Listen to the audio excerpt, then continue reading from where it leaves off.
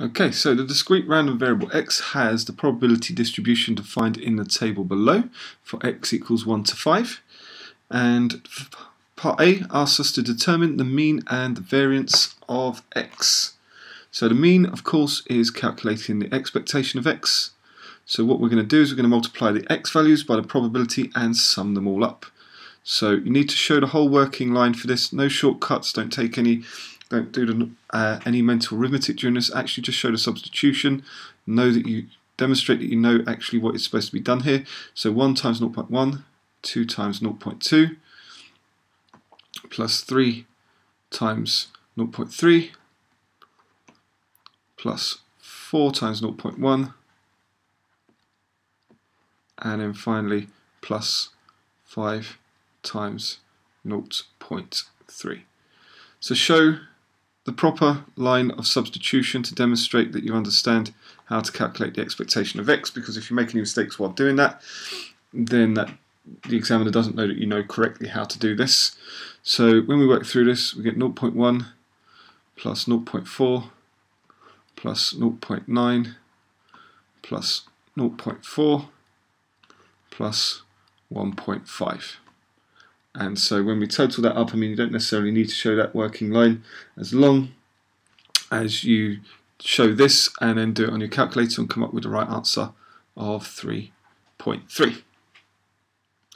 Okay, now the variance of x we know relies on doing the expectation of x squared. So let's work that out first of all. Expectation of x squared is exactly the same as above, so demonstrate it as above, but this time we're going to square the x values, so I get 1 squared times 0.1 plus 2 squared times 0.2 plus 3 squared times 0.3 plus 4 squared times 0.1 and then plus 5 squared times 0.3. Now again, you don't need to show that line like I did before. Sometimes it's quicker to work just by writing it out without using a calculator. Sometimes it's quicker just to stick it into a calculator. Okay, so really, having showed the substitution, all I really then need to do is show that when I work out the expectation of x squared, we get to an answer of 12.7. So now we can demonstrate that the variance of x, remember to state the identity, is the expectation of x squared minus the expectation squared of x. So the variance of x will be given by 12.7 minus 3.3 squared and when we carry out that calculation and stick it in our calculator what we get is an answer of 1.81. Okay, so five marks for that question. It's quite a lot of marks for something that's pretty procedural. And so the first mark that you're given is a method mark for showing the correct substitution into the summation for the expectation of x. You then get one accuracy mark for getting the correct answer of 3.3. Next, we then get a statement mark for calculating correctly the expectation of x squared. And actually the mark comes for this bit here. And then if you can state this, you, you, helps later on as well. So then finally, we have two more marks to award. The other marks are given for this line here, just showing correctly that the variance of x is given by 12.7 minus 3.3 squared. And so you get a method mark for this and an accuracy mark for this statement. Okay, so let's have a look at part B.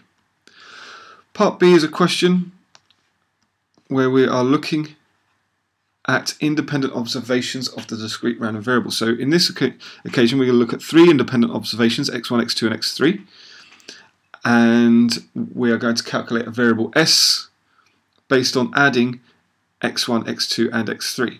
So we're asked to find the probability that s equals 4.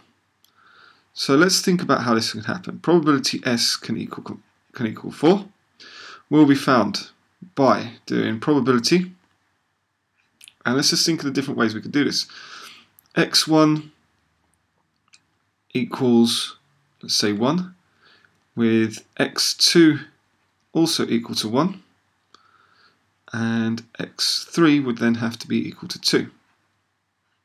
So we'd have to have all three of these things happening. So we've got the intersect. This is union with, because that's not the only way things can happen. We could have x1, x1 could still be equal to 1, but this time x2 could be equal to 2.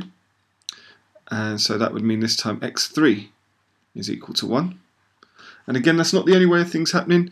The final way that things could happen is that we could have x1 equal to 2 and this would mean that x2 would have to be equal to 1 and that x3 would have to be equal to 1. Okay, so these are all the possible things that can happen. What we need to do is work out the probability of each of these three different things. So what we're going to end up with here, probability S equals 4. Well, the probability x1 equals 1, x1, x2 equals 1, and x3 equals 2. This is going to be calculated by doing independent events, so we're going to multiply them together. So probability x1 equals 1 is 0.1, times probability x2 equals 1 is 0.1, times the probability x3 equals 2 is 0.2. So we're just going to have rearrangements of this. This is union. These events are all mutually exclusive. So the different ways that we can get four are mutually exclusive because they can't happen at the same time. So we're going to add the probabilities for these. So we then get 0.1, which is probability of x1 equal 1. Probability x2 equals 2 is 0.2. Probability x3 equals 1 is 0.1. And again, adding on this other mutually exclusive event now, probability x2 equals 2 is 0.2 times probability x2 equals 1 is 0.1 times the probability x3 equals 1, which is 0.1. So, when I work through this, s equals 4, what we have is 0.002, and we're going to have that 3 times, so we get 0.002 times 3, which gives me a probability of 0.006. Okay, so how do we get the marks on this question? Well, first of all, we get statement mark if you have stated in some way or another, if you've listed it or used the same notation as me, what we need to do is show that there are three different ways of finding or obtaining S equal to 4. Okay, then we get a method mark and an accuracy mark if we've worked through these steps in some way and got to the answer 0.006. Okay, so you need to show some sort of working, whether it's this line here, or this line here, or both, and then your answer 0.06. Okay, so let's have a look at part 2. Part 2 wants to find the probability that S is less than 4.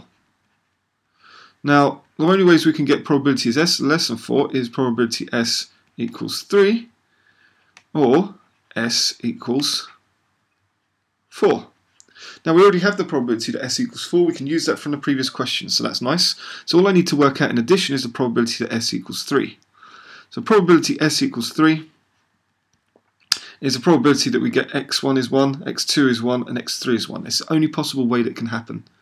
Okay, so, I mean, I'll write it just to demonstrate to you so you can see actually what's happening. Uh, so that's x1 equal to 1, intersect x2 equal to 1,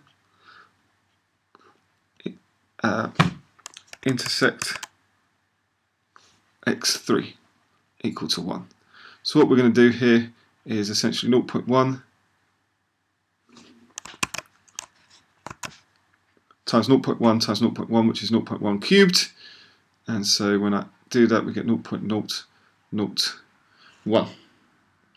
So finally, probability S is less than 4, less than or equal to 4, sorry, I should have put the equals in, of course, is going to be equal to probability S equals 3, which is 0.001 Union, so these are exclusive events that can't be equal to 3 and 4 at the same time.